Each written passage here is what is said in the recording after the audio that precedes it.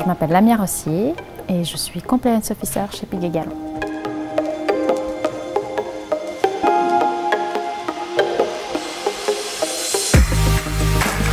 Notre rôle de compliance officer, c'est euh, protéger les différents acteurs tels que les clients, les employés et la banque.